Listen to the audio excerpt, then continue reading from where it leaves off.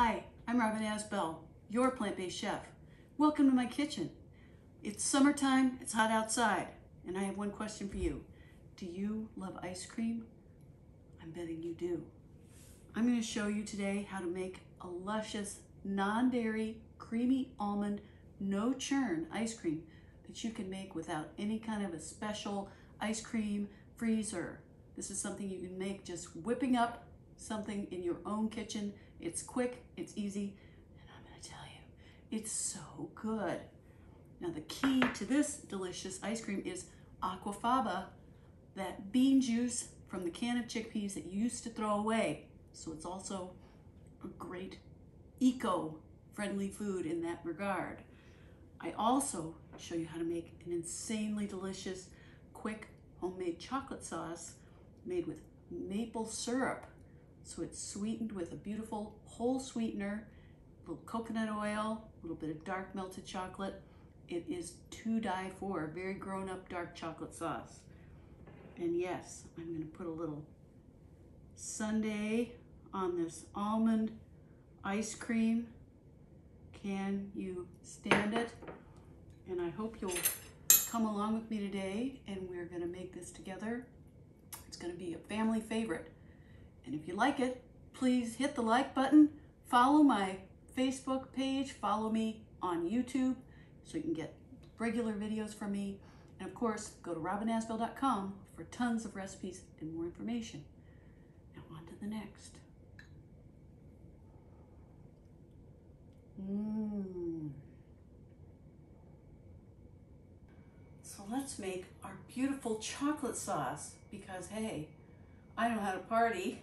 so the first thing I'm gonna do is I've got some melted coconut oil, which I just put the jar into a little bowl of warm water to melt it.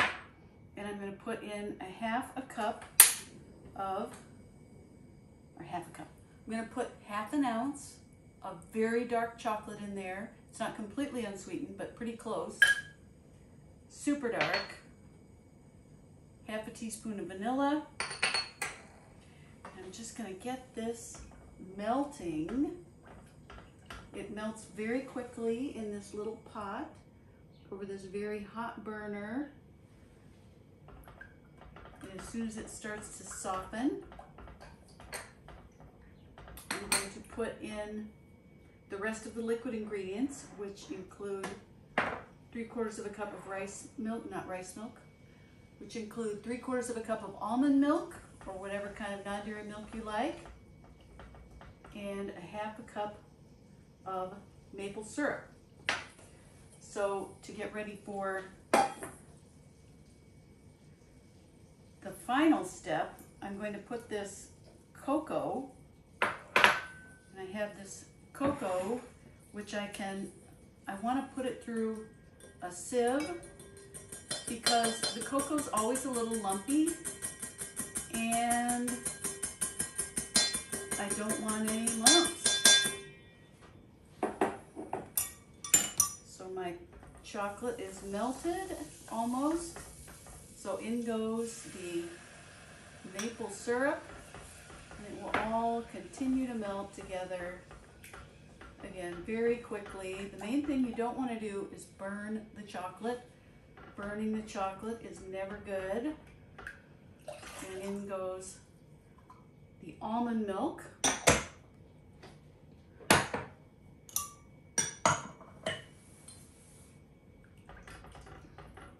And this really is just so quick and easy. You can throw this together after dinner and it just doesn't take that long or require any particular skills. So I'm going to switch to a whisk. You can see there's no chocolate left in there. And I'm going to just get it kind of warming over the heat. I don't need it to be bubbling, but just warming. Again, this is a hot little burner. So then I'm going to start just gradually whisking in the cocoa. So you can see I've got my cocoa and it's nice and finely dispersed and powdered because I put it through the sieve. So I can just whisk it in a little at a time. Although again, I've just kind of got it all in there. But you just want to make sure there aren't lumps in it before it goes in because then it will for sure be lumpy after you cook it. And you can see it's already thickening up to make this luscious, beautiful chocolate sauce. And I don't need it really to boil, but I'm gonna let it come to sort of a low simmer just to get it fully thickened. There's no starch or anything in there. This is gonna be more of a chocolate sauce. Now, if you wanted it to be more like a fudge, you could put in um, less of the almond milk.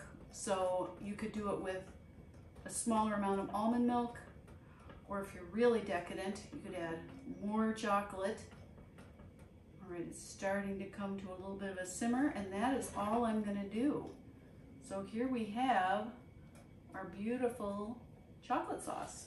Now, center stage comes the ice cream. And because it's no churn, it's absolutely the easiest thing. So I'm gonna just mix the base. So I've got some almond butter, yes, half a cup of luscious creamy almond butter. And if you want, you can always throw in some chunky almonds.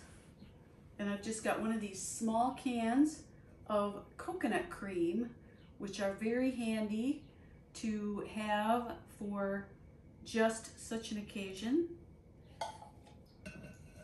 Interestingly, there's always a little bit of water in these.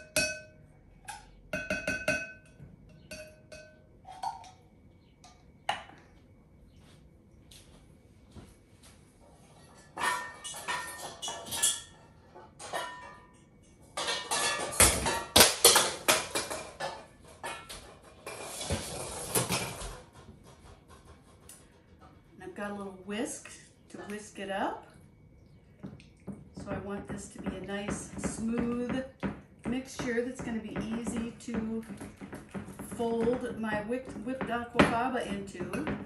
So I've got my, that's nice and creamy, and then I've got another quarter cup of coconut oil, because what the heck, we're going all in with rich and delicious, and teaspoon of vanilla. So just whisk that up. And that is our ice cream base. And then I'm going to start the mixer. If I weren't talking to you and I were in a big hurry, I would have started the mixer first so that it would be whipping while I was mixing this up and the whole thing would go even more quickly. So I've got my mixer and I'm going to put the aquafaba in, quarter cup. You should have that much in a typical can of chickpeas. The cream of tartar, important, crucial ingredient there. And then I'm just gonna crank it up.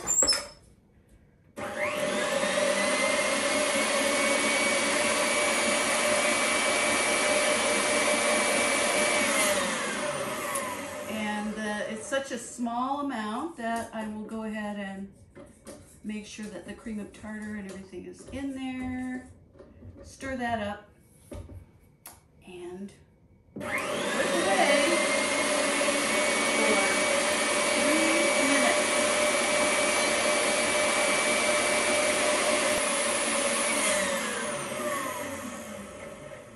So just to let you see what the aquafaba looks like now, this is the beautiful whip just of the aquafaba and the cream of tartar. And now I'm going to gradually whip in the powdered sugar. And this is going to just be a slow, a gradual process. You can have it on kind of medium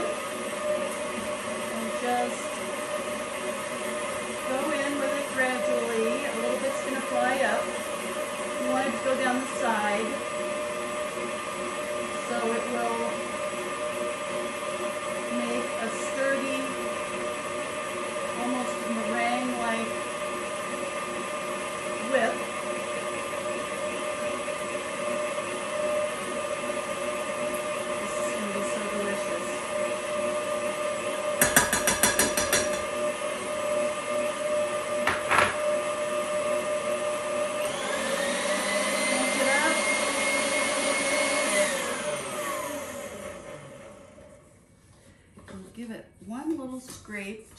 sure I get all that down from the sides. So I'll go ahead and mix it one little bit more.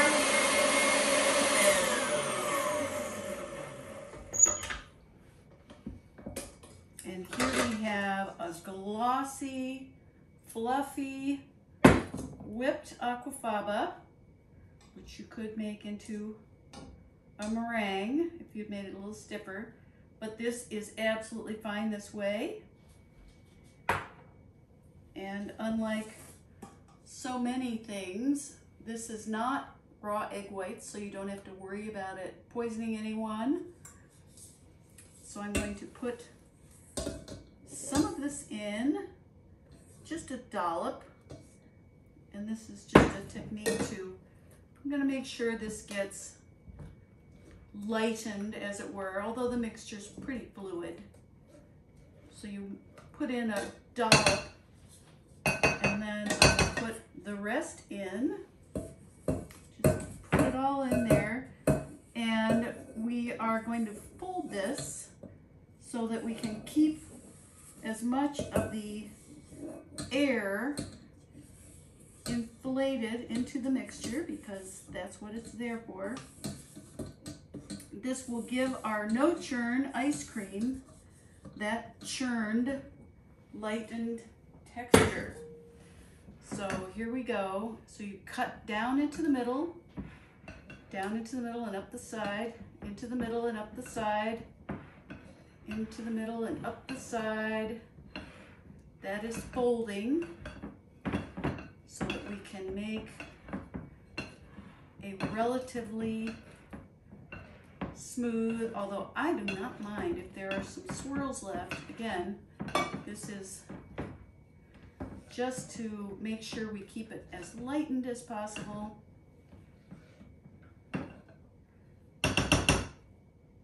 So then I'm going to put it into my freezing container.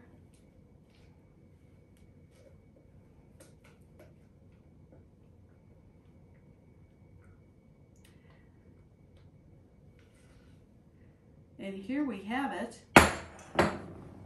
Creamy almond, no churn, ice cream. I'll put this right into the freezer and then I'll get some out for you to have as a sundae. And so here we are with our beautiful no churn ice cream, frozen. Look at that. I've got my scoop. I'm just gonna do my scoop. And you just drag that right through there. Get yourself a luscious scoop of beautiful almond, creamy, creamy ice cream. Look at that scoop.